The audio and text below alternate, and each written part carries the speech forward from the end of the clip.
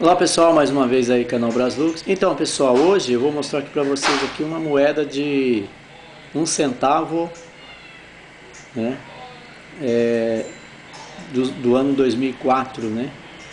Essa moeda, ela saiu de, de um centavo de 1998 a 2004, né. A moeda reverso aqui é Pedro Alves Cabral, né. Essa moeda já saiu de circulação, pessoal. Ninguém dá de troco essa moeda aqui, mas ela já é uma peça de coleção, apesar de, de número de cunhagem alto, que é mais de 100 milhões, né?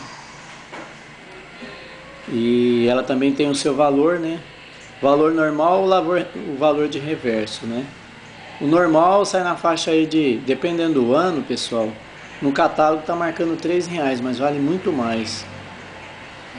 E os reverso, reverso invertido, reverso horizontal, é na faixa de 100, deixa eu olhar aqui,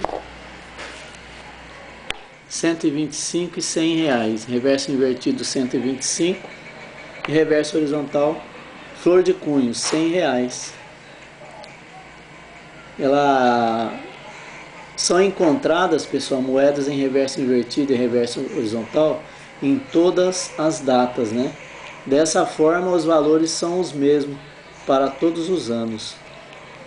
Então, a, a de 98 a 2004, além dela ter o valor dela normal, né? Ela também tem reverso invertido reverso horizontal, que eu vou mostrar aqui para vocês, ó. Um centavo, Pedro Alves Cabral, né? Tem o peso dela ali, ali saiu 98. Eu tenho a 2003, 2004. Eu não tenho a 98. Olha lá o valor, pessoal. 125 reverso invertido. E 100 reais reverso horizontal. 70 soberba. 50 reverso horizontal. 60, é 50, né? É 50 reais reverso horizontal soberba. O valor de cunhagem, pessoal, varia de 185 milhões, que foi a 98, a 167 milhões que foi a 2004. Então, pessoal, essa, essa moeda aqui é peça de coleção, né? Eles não dão de troco essas moedas aqui. Sumiu do, do mercado, apesar do valor de cunhagem. Mas ela tem o seu valor também. E, e tá aí, pessoal, um vídeo rápido falando dessa moeda de um centavo, né? E pessoal, se inscreva no canal, clica no sininho se gostou, dê um like, ajuda o canal a crescer aí, que eu vou postar mais aí pra vocês aí. Moedas e cédulas. Então, pessoal, valeu, obrigado pela visita aí.